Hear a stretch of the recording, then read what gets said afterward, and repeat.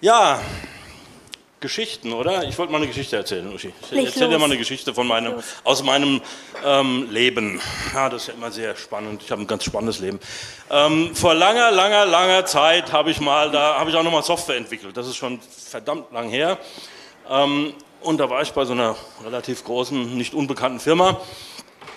Und ähm, das war dann ab und zu so, wenn man dann sich so, ja, du hast ja da gesessen, hast kodiert und gemacht und irgendwie ist die Zeit so schnell vorbeigegangen und dann war es schon mal 6, 7 Uhr abends und hast einfach immer weitergemacht, weil es Spaß gemacht hast.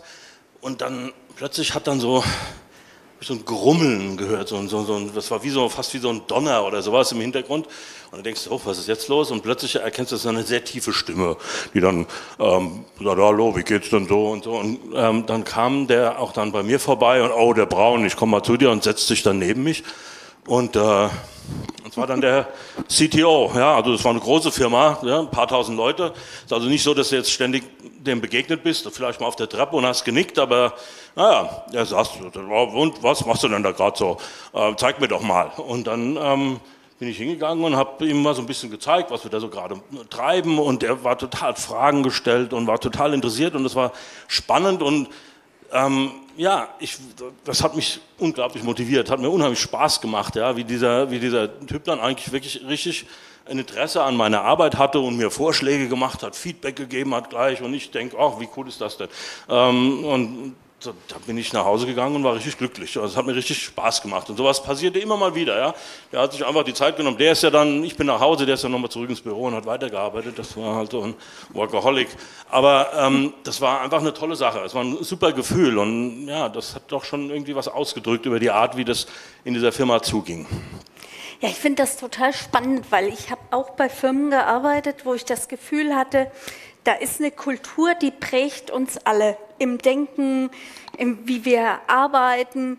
Und ähm, eine war ein deutscher Hardware-Softwarehersteller, den es nicht mehr so in der Form gibt. Ja, manche werden da schon wissen, wer gemeint ist. Und er wurde eines Tages aufgekauft von einem Großkonzern. Und ich war damals schon nicht mehr dort. Ich habe da unheimlich gern gearbeitet. Es war recht hemdsärmlich manchmal. Und dann wurde der von so einem Traditionsunternehmen aufgekauft. Und ich war damals schon bei einem Beratungsunternehmen im Projekt und der Abteilungsleiter erzählte mir mal, sie hätten so eine Maschine noch von diesem deutschen Hersteller. Und für ihn war das immer so eine spannende Geschichte, wenn von dem neu gegründeten Unternehmen aus diesem Merger heraus Vertriebsleute kamen, die kamen immer zu zweit. Und er sagt, er hat immer in zehn Minuten gewusst, wer kommt von welchem Unternehmen. Das war sein privates Hobby, da eine Wette abzuschließen mit sich selbst. Und er sagt, er hatte immer recht gehabt. Ja, die Kulturen haben so geprägt, dass man innerhalb von zehn Minuten an der Art, wie die Leute agiert haben, wussten, aus welchem Stall die kommen. Das ist total spannend. Ja. Und auch was, was sich dann so verändern kann ne, in so einer Kultur, dann dadurch, dass sich Veränderungen ergeben im Unternehmen. Ich, bei denen hat es nicht geklappt, ja. ja. Die waren vielleicht nicht ganz kompatibel ja, genug oder sich dessen auch nicht bewusst. Okay, ja, ja. ich, ich denke dann auch immer dran, ähm, dieses Unternehmen, von dem ich erzählt habe, dann, ich bin dann, dann war ja relativ lange bei denen und ähm, dann hat sich die Führungsriege verändert und ähm, gegen Ende, wo ich dann auch gesagt habe, nee, jetzt reicht's mir, jetzt gehe ich, da saß ich dann mal mit dem, ähm, nicht, das war der CEO, der neue CEO, der hatte uns dann eingeladen, es ging dabei um mobile Strategie, Anfang 2000, das war schon sensationell, dass wir überhaupt darüber gesprochen hatten, aber wir hatten da so einen ähm, im Unternehmen, der hatte sich das ans, Heft, äh, ans Hemd geheftet und hat gesagt, das ist mein, mein Ding. Und ähm, das war dann in den Abteilungen, wo ich jetzt mit Management äh, getan habe und noch ein anderer. Wir waren dann also zu dritt beim CEO, haben dann so alles Mögliche erzählt darüber. Und dann hat er den einen rausgeschickt, der den mobilen Guru hat gesagt, ja, okay, also Sie bleiben noch mal da. Und dann das Erste, was er gesagt hat, nachdem er die Tür zugemacht hat, den brauchen wir nicht mehr, den feuern wir jetzt. Und ich bin beinahe vom Stuhl gefallen, ja, und das war irgendwie so, das ist so, so diese Antipoden, ja, also was ich vorher mhm. erzählt habe, am Anfang meiner Zeit dort, wo der CTO vorbeikam und sich einen Stuhl angezogen hat, mit mir darüber geschwätzt hat, was wir da machen, und da war dieser Typ, der sagt, Nö, den brauchen wir nicht, den feuern wir jetzt. Und das hat er mir dann noch gesagt, was brauchte ich nicht zu wissen. Ich hatte ja, also es war völlig verrückt. Also äh, wie sich diese Kultur dann auch durch, auch gerade die Führungskräfte sehr stark verändert hat in dieser Firma, war gut zu beobachten. Ja, Kultur haben wir jetzt ein paar Mal gesagt. Ja, bitte. Aber manchmal, glaube ich, ist es auch eine Frage, in welchem Entwicklungsstadium befindet sich ein Unternehmen. Ne? Das Ganz ist klar. ja spannend, mal drauf zu gucken, was ja. Kultur eigentlich ausmacht.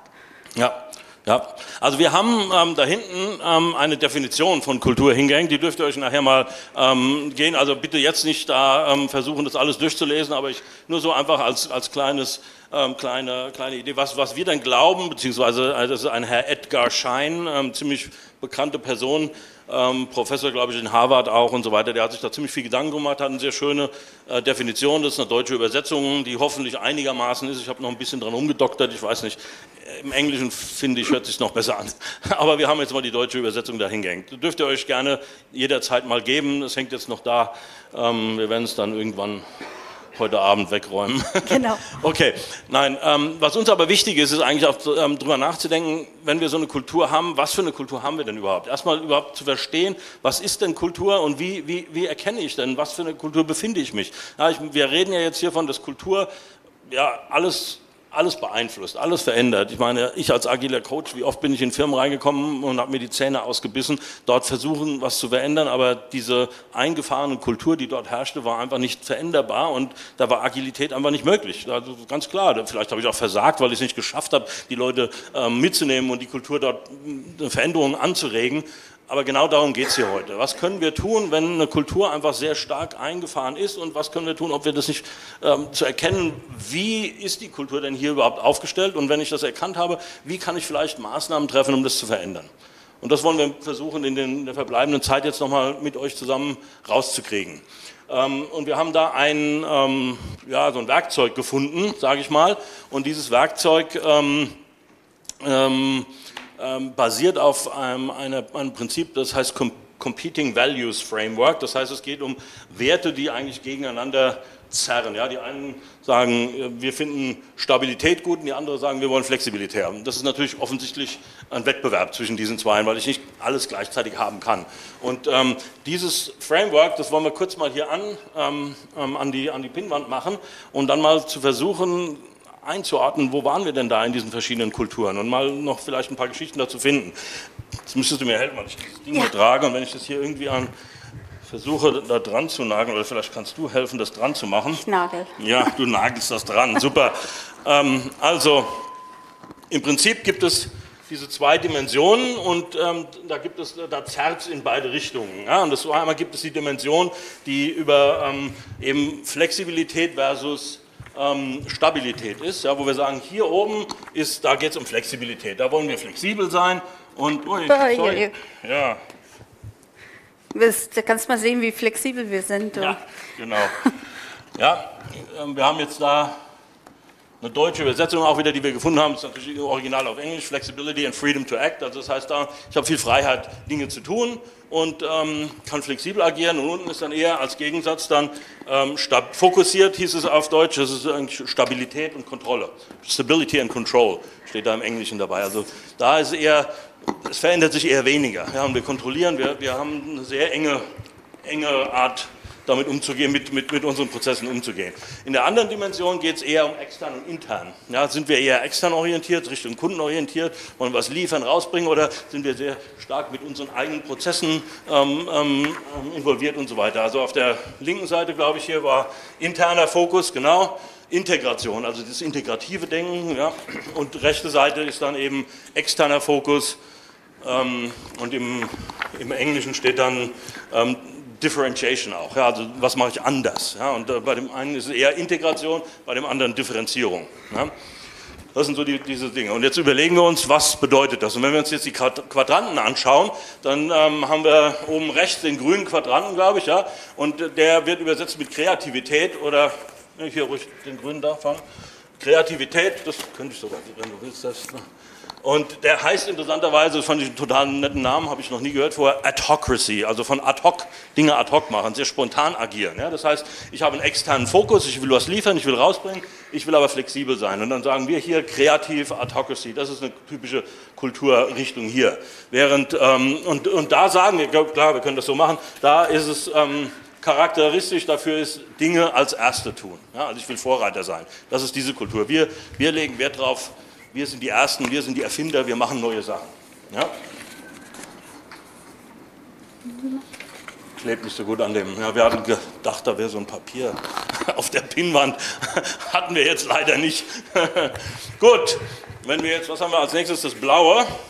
Das Blaue ist der Markt, Konkurrenz. Das heißt, ähm, wenn wir hier unten hingehen und sagen, wir haben da eher Kontrolle und Stabilität, aber wir sind einen externen, externen Fokus, dann ist es so eine, so eine äh, sehr Konkurrenz. Wir wollen die Ersten sein, äh, nicht die Ersten, sondern wir wollen die, die Gewinner sein. Ja? Also Dinge schnell tun, äh, rauskommen damit und wir wollen gewinnen. Das ist eigentlich da unten das Ding. Ja? Stabil, Kontrolle, aber wir wollen die Sieger sein, wir wollen gewinnen. Ja, das ist Wettbewerb. Hier geht es um Wettbewerb, Wettbewerb, Markt. Ja? Wenn wir dann nach oben links kommen, dann haben wir dieses sehr integrative. Wir wollen flexibel sein, wir wollen aber auch nach innen integriert sein. Das heißt, hier geht es um Kollaboration. Also Kollabor Kollab kollaborative Kultur. Ähm, Im Englischen auch sehr schön Clan, ja, also der Clan. Ja, wir gehören zusammen, wir sind ein Team, da geht es um Teamwork und so weiter. Und das heißt, Dinge gemeinsam tun, ist dort das, das Thema. Und als letztes unten rechts ist das... Ähm, Kontrollthema, glaube ich wieder, hm. ja, Kontrolle, ähm, im Englischen eigentlich die Hierarchy, Hierarchie, also sehr stark strukturiert, nach innen fokussiert, integrativ, aber mit äh, viel Stabilität und Kontrolle und das heißt Dinge richtig tun, Effizienz, ja, wir machen die Dinge richtig, ja, nicht äh, ähm, als erster oder schnell oder was immer, sondern richtig. Und das sind so ein bisschen die Charakteristika dieser Sachen. Ich glaube, Uschi kann uns dann genau. noch ein genau. bisschen Details dazu erzählen, für jeden dieser Quadranten eigentlich. Ich habe für euch als erstes so das Thema Konkurrenz, Market Culture.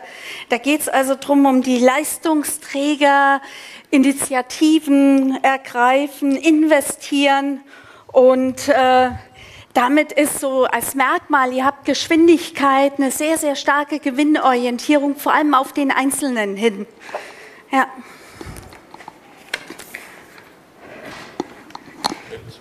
Das wird die spannende Frage, ob es hält. Wir werden es sehen.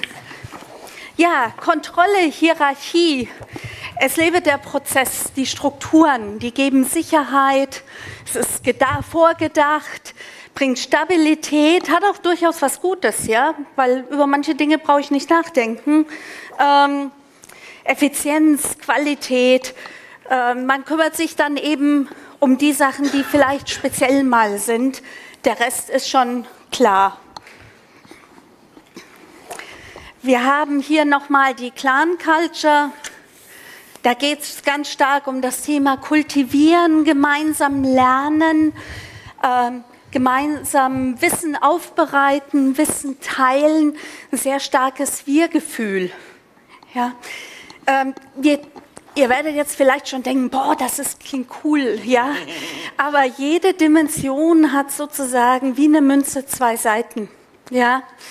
Auf der Münze ist ja auch nicht nur die Zahl, gibt es immer noch die Rückseite. Und so ist das hier auch. Hier könnte es zum Beispiel bei Clan ganz stark sein, das sind mir und die anderen sind außen. Habt ihr auch hier vielleicht so bei der Hierarchie die eigene Gruppe? Ja. Hier habt ihr ähm, Autocracy, Kreativität, Erfund, was erfinden, Innovationen haben, Wachstum. Das ist natürlich auch für uns ganz positiv konnotiert, aber es kann natürlich auch heißen, sich in Abenteuer reinstürzen, vielleicht wilde Aktionismus. Und wenn das in einem Unternehmen an verschiedenen Ecken passiert, die das nicht voneinander wissen, vielleicht auch Verschwenden von Ressourcen, die würden gemeinsam viel besser brainen können. Ja. Gut, und äh, wenn man dieses Tool jetzt sich mal betrachtet, ist natürlich klar, äh, man sagt jetzt nicht, eine, ein, ein, eine ähm, Firma oder eine Organisation hat eine Kultur, die ist genau da, da, da oder da, sondern im Prinzip setzt sie sich aus allen dieser Dinge zusammen. Nur die Frage ist, wie stark ist welcher Quadrant vertreten in jeder Kultur? Und das ist eigentlich die große Frage, die man sich stellen sollte. Es gibt dazu tatsächlich dann Fragen, die man stellen kann, Fragebögen etc. Da werden wir jetzt nicht ins Detail gehen, um Gottes Willen. Und dann ähm, gibt es hier Skalen und dann kann ich praktisch so ein, wie so ein Spiderweb oder hier ist natürlich ein Viereck Dreieck, ähm, das ich hier dann mache, wo ich dann praktisch jeweils verorte, wo ich ähm, in diesen Bereichen mich befinde, ähm, mir praktisch eine Diagonale vorstellen muss als, als, als Dimension und dann ist hier von 0 bis 100 und dann komme ich bei 50 bei hier raus und bei 30 hier und bei 100 hier oder so und dann kann ich sowas zeichnen und sehe, wo meine Kultur eher, in welche Richtung meine Kultur eher geht, wie die lastig ist. Ähm, das ist also praktisch die, die Aufforderung von uns, sich durchaus bewusst Gedanken darüber zu machen. Was haben wir denn? Wenn ich, wenn ich immer sage, oh, unsere Kultur, die frisst alles auf und dies und das, dann überleg doch mal, was haben wir denn wirklich für eine Kultur hier bei uns? Wie sieht die denn aus? Und wenn, und wenn da irgendwas besonders lastig ist, dann ver verstehen wir plötzlich vielleicht, aha, daran liegt es wahrscheinlich insbesondere, dass bei uns diese agile Transformation jetzt gar nicht so gut funktioniert. Ja, die Frage, die ich mir dann stelle, wo funktioniert eine agile Transformation besser, ähm, wenn ich mir diese Quadranten anschaue, als bei anderen? Was wäre denn eure Meinung? Oben. Flexibel, ne? agil und flexibel sind ja so verwandte Worte, nicht wahr? Hm. Ja. ja, also das, bitte? Ich weiß nicht, aber wenn das Fokussierte fehlt, das Fokussierte auf ein Ziel, ja. Hm. Ziel fehlt, dann habe ich oft gesehen, dass mit viel Aktionismus irgendwas gestartet wurde, aber sehr viel auch schnell ausfranste. Mhm. Ja, okay, genau. Also du kannst nicht und das glaube ich ist schon richtig. Man kann nicht sagen, es gibt jetzt eine Kultur, die jetzt genau, also wenn ihr hier oben euch und hier null seid und hier überall 100 seid, dann ist es genau richtig. Das würde ich auch nicht sagen. Man muss die Balance finden, aber tendenziell wird man Charakteristika, die hier oben stehen, eher in agilen, ähm, von agilen Prinzipien und agilen äh, Werten sehen. Hier ein bisschen was, weil wir sagen ja auch, wir wollen zum Markt gehen, wir wollen den Kunden bedienen, wir wollen sehr schnelles Feedback haben, wir wollen zum Kunden liefern etc. Ähm, hier wird es wahrscheinlich am, möglicherweise am schwierigsten, ähm, sich zurechtzufinden äh, und sagen, wenn, da, wenn ich da sehr stark ein, ein, ähm, eingeschwungen bin, dass ich sage, wow, das wird richtig schwierig, meine agile Transformation durchzuführen. Und ich muss mich vielleicht versuchen, das ein bisschen wegzubewegen. Habt ihr da vielleicht auch Geschichten, so was ihr erlebt habt, wo ihr sagen könntet, wo das eigentlich hinpasst, von diesen Quadranten her? Heike. Willst du, nach, willst du nach vorne kommen ganz kurz? Weil wir wollen das ja am Feuer erzählen, die Geschichte, genau. ist ja genau. klar. Ne?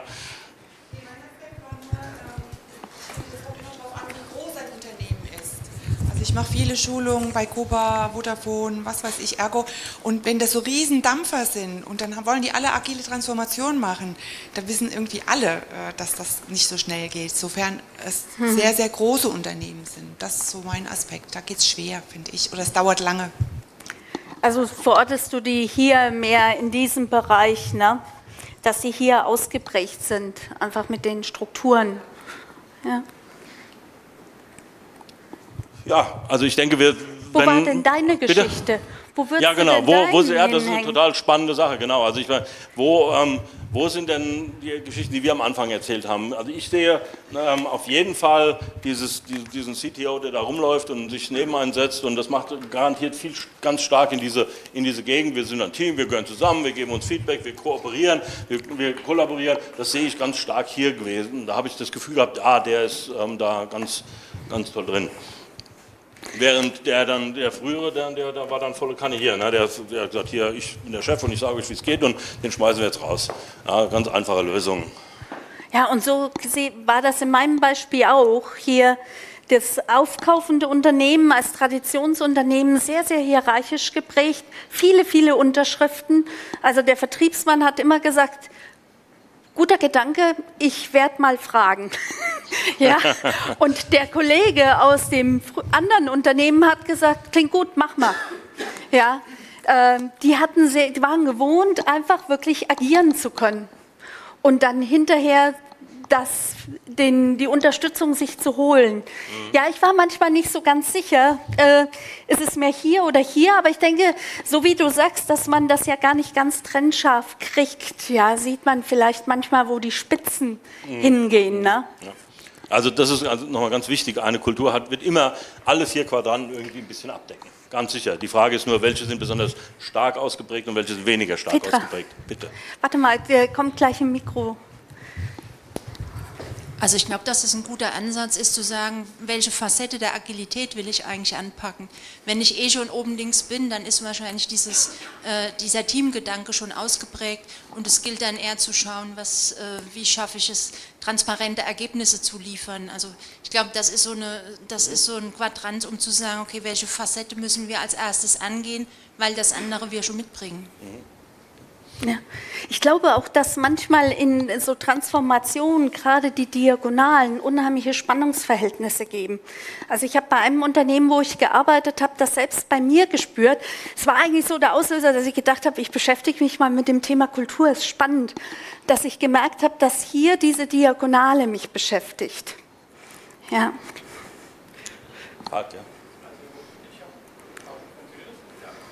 Ja, also ich habe äh, festgestellt, dass in etlichen Organisationen, in denen ich unterwegs bin, da unterschiedliche Ebenen von stattfinden. Mhm. Nämlich, dass einmal wir eine existierende Kultur haben, die in unterschiedlichen Bereichen der Organisation auch unterschiedlich geprägt ist. Also das heißt, dass wir auf Teamebene häufig sozusagen schon in Kollaboration uns bewegen, dass auf der anderen Seite aber eine, die durch die Unternehmensleitung gewünschte oder durch das mittlere Management gewünschte Kultur gepredigt und nach außen vertreten wird, aber nicht gelebt wird. Und dann ein dritter Teil stattfindet, der sozusagen auf Führungsebene sich in einem anderen Quadranten befindet, der dann tatsächlich anders gelebt wird als das, was man predigt und das, was mhm. die Operative lebt. Und das finde ich sind die, das sind ganz große Konfliktherde, die da entstehen. Und die stehen aus meiner Sicht halt der Weiterentwicklung der einzelnen Organisationen ganz stark im Weg und die tatsächlich zu identifizieren und die auch mal klar zu machen, um zu sagen, okay, wo sind denn da die Unterschiede, um überhaupt erstmal auf was zu kommen, wo, wo, reden wir denn eigentlich von unterschiedlichen Dingen, weil wir sagen A, meinen B und haben aber C. Das ist ganz spannend, finde ich. Ja, das stimmt. Also das, also das ist eine Erfahrung, die kann ich bestätigen. Das ähm, kommt mir auch oft entgegen. Ähm, es ist natürlich eine spannende Frage, wenn ich über so eine Veränderung, wenn ich sage, ich möchte jetzt was verändern, ich möchte Agilität, wir reden ja hier von Agilität, es kann ja auch sein, dass ich was anderes, Kulturelles äh, etablieren will, aber heute ist ja das Thema, wir wollen Agilität in der Form in einem Unternehmen oder in der Organisation, sage ich besser, etablieren. Dann muss ich mir natürlich auch die Frage stellen, in welchem Bereich der Organisation will ich jetzt betrachten will ich angehen? Ja, will ich, mit, mit wem will ich da arbeiten? Mit wem, wem muss ich da arbeiten? Mit wem will ich da arbeiten? Welche Kultur kommt mir da entgegen, die, mir, die, die, ja, die meine Agilität auffressen würde? Das heißt, ich muss mich da sehr äh, klar fokussieren, wenn das Unternehmen ausreichend groß ist. Wenn das Unternehmen klein ist, ist es vielleicht das ganze Unternehmen und damit ist es vielleicht sogar auch einfacher. Aber wenn ich ein großes Unternehmen habe, muss ich mir überlegen, ist das jetzt nur eine Abteilung? Ist es die DB Systel versus die gesamte Bahn zum Beispiel? Oder, oder nur Teile der DB Systel, die jetzt da betroffen sind? Für die wir jetzt agieren wollen und sagen, da fokussieren wir uns jetzt drauf. Und dann zu sagen, lass uns doch mal versuchen zu analysieren, was dahinter steht hier. Wo stehen wir denn da? Sind wir jetzt hier oder hier oder wo, wo, wo bewegen wir uns stark und wo müssen wir Veränderungen erzielen? Und unsere mhm. Meinung ist schon, dass wenn man sehr lastig nach unten ist, besonders unten links ist, dann wird es schwieriger und dann muss ich wirklich daran arbeiten. Jetzt habe ich ähm, mangels, also diese Tapete ist wunderschön, ja. aber sie ist unheimlich schlecht geeignet, um Sachen aufzuhängen. Und dann haben wir ein paar Sachen nicht aufgehängt, die jetzt hier rumliegen. Und da waren so ein paar Zitate, auf die ich gerne verwiesen hätte an dieser Stelle. Aber es geht da ähm, insbesondere darum, dass ähm, ich natürlich, dass es viele Aussagen gibt von vielen Koryphäen, die das wissen, die sagen, ich kann Kultur nicht verändern, also ich kann Kultur nicht planen. Ähm, Ralph Stacey sagt ganz deutlich, es gibt gar keine Hinweise, wissenschaftliche bewiesene Hinweise, wo man sagen kann, wenn ich eine Kultur Veränderung plane, dass das von irgendeinem Erfolg beschieden wäre. Das kann ich nicht. Ich kann keine Kulturveränderung durchziehen und planen. Ich muss ähm, andere Wege gehen. Ich muss vielleicht, sagen wir mal, Eckpfeiler, Leitplanken, ähm, Guidelines aufstellen, um zu versuchen, etwas zu adaptieren, etwas zu verändern in der Kultur. Falk, bitte. Zu, wenn du wenn man sich überlegt, dass tatsächlich, also du, ihr habt das so beschrieben, wo funktioniert eigentlich, wo könnte Agilität gut funktionieren und wo nicht. Die Frage, die für mich sich immer dahinter stellt, ist, warum wollen wir Agilität? Das ist so die erste Frage. Ja, Was wollen wir erreichen? Und dann tatsächlich hinzugehen und zu sagen, okay, können wir das durch irgendeine Art und Weise so unterstützen und daraus bildet sich Kultur. Ähm, ich kann zum Beispiel nicht ganz nachvollziehen, ob, das, ob diese Quadranten jetzt tatsächlich besser geeignet oder schlechter geeignet sind, um mit Agilität umzugehen. Ähm, ich glaube, dass sozusagen wir, wenn wir tatsächlich agil arbeiten, uns mehr oben rechts befinden, tendenziell als woanders. Aber wenn ich tatsächlich Veränderungen hervorrufen möchte in dem, in dem Bereich, habe ich noch nicht so das Gefühl, dass irgendeiner von denen besser oder schlechter ist. In, also nicht in wertendem Sinne. Denn ich habe schon mhm. viele Organisationen gesehen, die sich sehr stark oben in dem rechten Quadranten kulturell befinden, die aber mit Agilität tatsächlich überhaupt gar nicht umgehen können. Also da ist dann, äh, naja, da ist dann halt Chaos das, was, was vorherrscht. Ähm, das andere ist wiederum Menschen, die sich ganz stark unten links ähm, belastet fühlen, dass die sogar diesen, diesen neuen Ansatz, diesen anderen Ansatz sehr willkommen heißen, weil er ihnen eine ganz besondere Befreiung bieten kann von einer Arbeitslast, die sie eigentlich gar nicht benötigen können an der Stelle. Und ähm, ich finde das einen spannenden Ansatz. Ich glaube, ich muss da noch mal mehr drüber nachdenken. Ja, nee, äh, absolut. Also die Idee ist einfach zu sagen, ich muss mal eine Ist-Analyse machen. Wo stehen wir denn überhaupt? Das ist eigentlich, um überhaupt agieren zu können, um überhaupt was verändern, äh, Veränderungen vielleicht erzeugen zu wollen, die auch vielleicht kulturelle Veränderungen nach sich ziehen. Also das ist ja genau das, worauf ich raus wollte. Ich sage, ich kann nicht sagen, wir machen jetzt die Kultur anders und dann kommt die Agilität, sondern ich muss Dinge einführen, ich muss Dinge tun, um dann den Wandel in der Kultur auch zu erzeugen. Das ist, das ist ja auch das, was wir klar hier sagen wollen. Was aber kann ich tun? Ich will trotzdem nicht mich ähm, wie so ein ähm, Käfer auf den Rücken legen, mit den Beinen schlagen und sagen, Agilität, äh, Kultur passiert irgendwie, ich kann da nichts machen. Das stimmt auch nicht. Ja, da bin ich überzeugt davon, dass es falsch ist. Ich bin überzeugt davon, du musst dir überlegen, was, was, was kann ich tun, um das zu beeinflussen um einen Einfluss zu nehmen. Und das sind eigentlich die spannenden Fragen, die, ich, die wir eigentlich jetzt nochmal genau, ähm, angehen wollten wollen. hier, auch mit euch gemeinsam überlegen wollen, was sind denn Dinge, die, kann ich, die ich tun kann, um Agilität in irgendeiner Form, äh, nicht Agilität, um eine Kultur, aber vielleicht eben eine Kultur, die nicht Agilität auffrisst, so will ich es mal sagen, ja? eine Kultur, die hm. nicht Agilität auffrisst, sondern Agilität zulässt ähm, und, und, und vielleicht sogar fördert und, und, und ähm, damit gut zurechtkommt, um solch eine Kultur ja entstehen zu lassen. Das ist, hört sich jetzt schon wieder zu, also oder dass sie entsteht. Was kann ich dafür tun, dass vielleicht sowas entstehen kann? Was, was kann mein Beitrag sein als Coach, als Führungskraft, als normaler Mitarbeiter, wie auch immer es sein mag? Was kann ich da dran verändern? Das war so ein bisschen die Frage, die uns umgetrieben hat und das ist viel Vorrede jetzt gewesen, um, jetzt diese, um uns jetzt mit dieser Frage mal zu beschäftigen. Was können wir denn wirklich tun? Was, was haben wir denn die Möglichkeit, statt nur zu hören, naja, Kultur, da kann man nichts machen, das ist einfach so, die entsteht einfach. Ja klar, Kultur hat mit Geschichte zu tun, hat deshalb haben wir das ähm, ähm mit Geschichten zu tun, die erzählt werden, die man äh, wiederholt. Das ist einfach, das ist Verhalten, was man lernt und was man den neuen Mitarbeitern oder neuen Leuten, die in diese Kultur reinkommen, erzählt als das richtige Verhalten. Das ist ja eigentlich das, was Kultur ist, was hier auch so ein bisschen als Definition steht auf diesem Blatt da hinten. Ja, dass ich Dinge lerne, Verhalten lerne und das gebe ich den anderen weiter, die neu dazukommen und dadurch werden die in meine Kultur aufgesaugt und verhalten sich dann genauso. Und äh, das ist das richtige Verhalten. Und was kann ich tun, um da vielleicht eine Änderung genau. erzeugen? Und jetzt okay, genau. Wir haben für euch Flipcharts vorbereitet. So ganz kurz von, an euch die Bitte, mal gemeinsam zusammen zu helfen. Wir haben hier die Station für Kollaboration. Wir haben hier eine Station für das Thema Konkurrenz. Hier ist auch eine. Kreativität, um mal zu überlegen, was sind Dinge, die sozusagen eine Kultur der Kreativität oder der Kollaboration stärken? Wo könnt ihr zu beitragen, dass sich das stärker entwickelt? Vielleicht, wo seht ihr aber auch Aspekte, zum Beispiel bei Kontrolle, Hierarchie oder bei Konkurrenz, wo er sagt, das sind Dinge, die wollen wir beibehalten. Die finden wir. Die wollen wir nutzen, also so in dem Stil, wie auch gesagt Es gibt natürlich auch, ähm, auch wenn man tendenziell sagt, der obere Bereich hört sich jetzt eher so an, als wäre das was, wo Agilität eher funktioniert, ähm, gibt es sehr wohl Dinge, die in dem unteren Bereich auch relevant sind, attraktiv sind und nutzbar sind und ausnutzbar sind, um zu sagen, hey, wenn ich eine agile Transformation haben, ähm, angehen will, dann kann ich diese oder diese Dinge aus einer sehr stark hierarchischen Organisationen sehr wohl nutzen und mir zunutze machen und damit arbeiten, damit diese Transformation trotz alledem funktionieren kann. Aber jetzt machen wir euch die Bühne frei, damit ihr loslegen könnt, sonst ist nämlich der Slot zu Ende.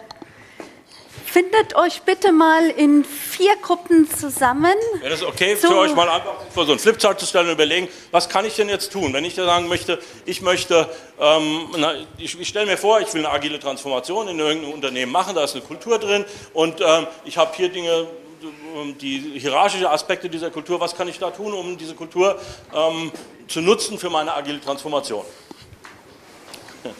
Oder was kann ich, äh, wenn ich so eine Konkurrenzsituation habe? Hier sind ganz viele Stifte und sammelt doch einfach mal Dinge und schreibt was auf.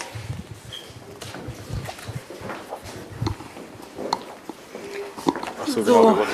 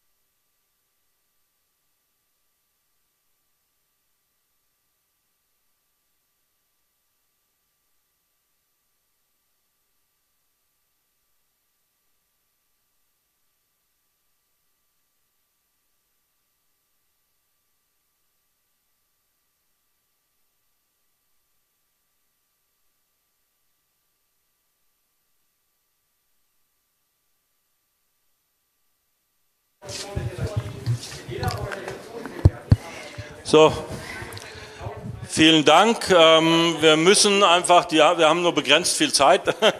Das heißt, vielleicht kurz dann nochmal setzen und einen Wrap-up machen, damit wir auch die Ergebnisse nochmal anschauen können gemeinsam. Und ähm, ja, cool. wir haben auch noch so ein paar Ideen dazu gehabt.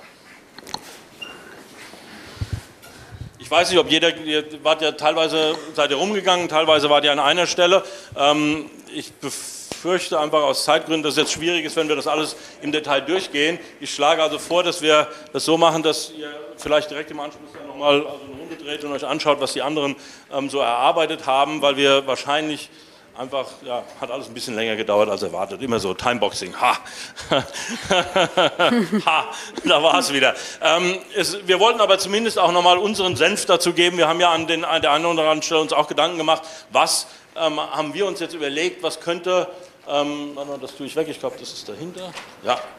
Ähm, was könnte denn hilfreich sein allgemein, wenn wir so eine agile Veränderung haben und ähm, möchte so eine, in die Richtung mich bewegen, ja, agiler zu werden. Und was können wir dafür tun? Wir haben noch eine Minute, das schaffen wir natürlich nicht, aber es ist ja jetzt eine lange Pause, das heißt, vielleicht brauchen wir zwei.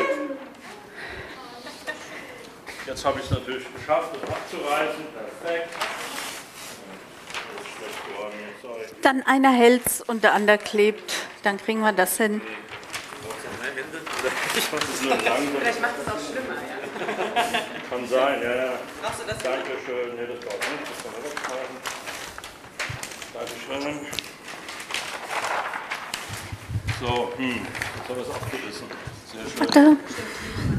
Ja, genau, wir lassen das kleben. Das war an hier, oder? Ja.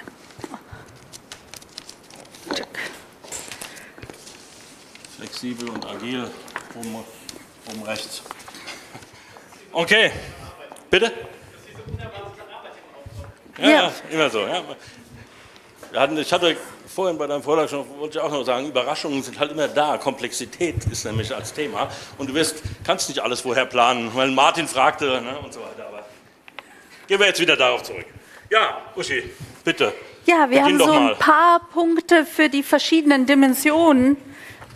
Erstmal überhaupt, ihr braucht Raum für Innovation, äh, für Experimente. Ihr braucht auch die Möglichkeit, so an der Fehlerkultur oder wir hatten gestern das Thema, dass man vielleicht gar nicht sagen sollte Fehlerkultur, sondern irgendwie ja. Experimente oder wie haben wir es mhm, genannt mhm. gestern? Genau, ja, steht auch da ja. extra davor. Ich habe genau. ganz bewusst Fehlerkultur in Anführungsstriche gesetzt, weil ich finde, das ist kein gutes Wort. Fehler ist was anderes als Misserfolg aus einem Experiment heraus. Ja, mhm. Lernkultur ist sicherlich ja. aus, aus Misserfolg. Ich sage extra nicht aus Fehler, sondern aus Misserfolgen lernen. Wenn was schief geht und mich fragen, warum ist es schief gegangen, was kann ich daraus lernen? Das, ist, das wäre wahrscheinlich das Richtige daraus. Ja. So, Thema Clan Culture, äh, gemeinsame Ziele, geteilte Verantwortung, also wirklich in die Teams das geben, nicht die Einzelziele so stark betonen. Von der Hierarchie her oder Hierarchy Structure, nutze Best Practices, weil viele Prozesse sind ja irgendwann mal aus Best Practices äh, entstanden. Nochmal drauf gucken, welche sind sinnvoll, gerade für wiederholbare Tätigkeiten. Und das Thema Disziplin ist natürlich auch ganz interessant. Ja, man vor Ort, man sieht bei, bei Hierarchie eigentlich immer nur starre Prozesse und zehn Unterschriften. Aber da ist auch viel Disziplin dahinter, die wir letztlich zum Beispiel in Scrum ja auch haben. Bei äh, bei den ganzen Events. Ja, da fallen mir immer wieder so Geschichten dazu ein, wo ich dann auch sage, ja, ähm, die Agilität als Prozess zu beschreiben, ist zwar vielleicht nicht unbedingt das Idealste, aber wenn ich in einer sehr stark hierarchischen Kultur lebe, wo, je, wo es alle möglichen Prozessbeschreibungen gibt, dann kann ich vielleicht diesen Kompromiss eingehen, um die Agilität den Menschen näher zu bringen, um eben diese Kultur ähm, positiv zu nutzen, indem ich eben das auch prozessual definiere und eben aber den Leuten beibringe, Prozesse dürfen sich auch verändern. Und zwar durchaus genau. häufiger, indem ich in meiner Retro neue Erkenntnisse habe etc. Ja, und wir haben zum Thema Markt, erzeuge Resultate für den Kunden, also den Kunden wirklich im Fokus nehmen, Erfolgsstories teilen, überhaupt das Thema, wenn ihr die Sachen voranbringen wollt, das sind oft Geschichten, die das super gut beschreiben, die Kultur und mit denen ihr diese Erfolgsstories weiter transportieren könnt. Mhm. So, ich habe jetzt noch was, das, ihr habt ja vielleicht schon gemerkt, das sind alles so die Farben, die ziehen sich hier so ein bisschen durch. Ähm, jetzt habe ich natürlich, Orange ist neu, ha, das ist auch ein bisschen allgemein. Wir haben gesagt, okay, was, was kann ich denn überhaupt tun, um Kultur zu beeinflussen? Ja, wenn, ich, wenn ich schon keine Kultur planen und steuern und erzeugen kann, so kann ich doch gewisse, ähm, sagen wir mal, Wegweiser in, in, irgendwo in, an den Weg stellen und ein paar Leitplanken machen, damit ich ähm, gewisse Richtungen schon einhalte und was bewege, sodass ich das beeinflussen kann.